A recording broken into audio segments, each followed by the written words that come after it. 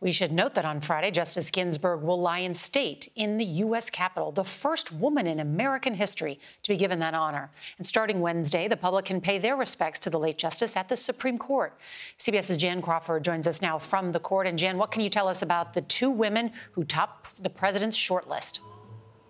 Well, Nora, they are both federal appeals court judges, solid conservatives. They're both mothers uh, and Catholic, but different demographics. Judge Amy Coney Barrett has long been the presumptive frontrunner. The president interviewed her for the last vacancy on the court. She's a former Notre Dame uh, law professor. She worked for Justice Antonin Scalia as a law clerk, and religious conservatives support her because they believe she would be a vote to overturn Roe versus Wade. And that made her appeals court confirmation hearing pretty contentious, as you can imagine but she weathered the fire, and that further impressed conservatives with her resolve.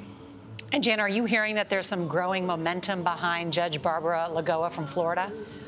I am. Uh, she would be the court's second Hispanic justice. She has got an incredible, compelling life story, a first generation Cuban American. Her parents fled Castro's communist regime uh, from Miami, where she was born and grew up. She went to Columbia Law School in New York, like Justice Ginsburg, and then she came back to Florida. She worked as a federal prosecutor, and then for the last 14 years as a judge on the state and federal courts. And then Florida, of course. That's another advantage for her, a key swing state, 29 electoral votes. Nora?